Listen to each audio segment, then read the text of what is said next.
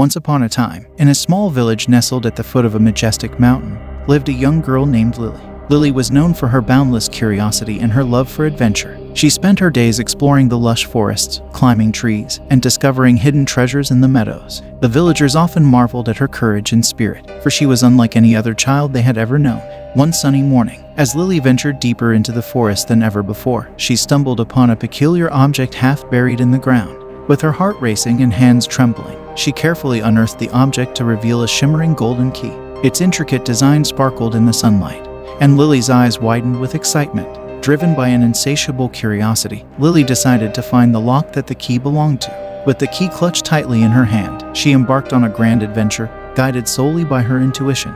Through dense forests, across flowing rivers, and over treacherous cliffs, Lily persevered, undeterred by the challenges that lay ahead. Finally, after days of tireless searching, Lily stumbled upon an ancient stone door tucked away in a forgotten clearing. The door stood tall and imposing, covered in moss and etched with intricate symbols. A sense of anticipation washed over her as she inserted the golden key into the keyhole.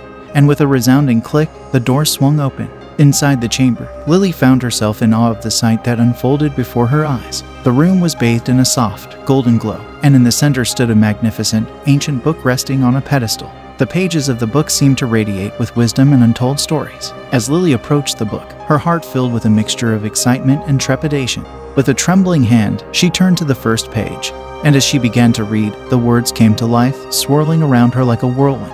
The stories took her on incredible journeys, transporting her to far off lands, introducing her to fascinating characters, and teaching her valuable lessons about life, love, and the power of imagination.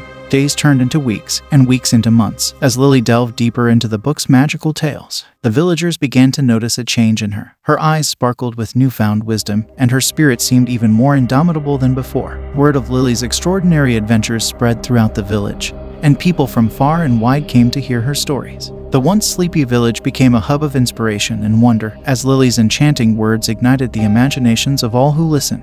As years passed, Lily continued to share the stories from the ancient book, passing on the gift of wonder and imagination to future generations. Her life became a testament to the power of curiosity, reminding everyone that true adventure lies within the depths of our own hearts and the stories we choose to embrace. And so, in the village at the foot of the mountain, Lily's legacy lived on, inspiring generations to seek their own golden keys and unlock the endless wonders that lay hidden within the world, waiting to be discovered.